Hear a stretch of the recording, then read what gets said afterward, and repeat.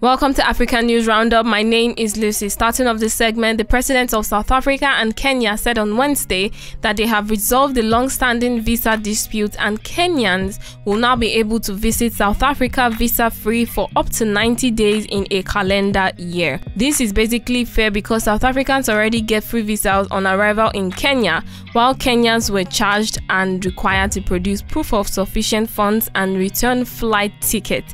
Now, this is a great move to be honest because unity in Africa starts with little moves like this. Also, I hope this agreement doesn't bring another cause of xenophobia and make South Africans think that they're coming to take their jobs from them.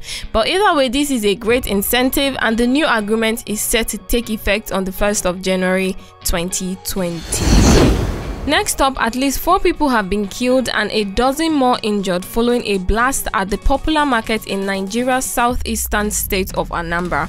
The cause of the blast is not yet known, but this could be as a result of the chemicals and flammable substances, some of which or most are not regulated and are locally made, also not stored properly. That is enough for the incident to occur and really a regulatory body should be put in place in order to prevent cases like this. And finally, after the regional leaders hailed the peace agreement between Ethiopia and Tigray region, the World Health Organization revealed that there is no food or medicine in the Ethiopian region of Tigray, despite the signing of the ceasefire last week. Now, the United Nations has accused Ethiopia for using starvation as a weapon of war in Tigray, where it says a humanitarian blockade puts 90% of the population at risk. Which brings me to question how long will this peace agreement last? Isn't this the major causes of why there was war in the first place? How come food and medicine are that difficult in reaching people of Tigray? I hope this doesn't breed another war between them.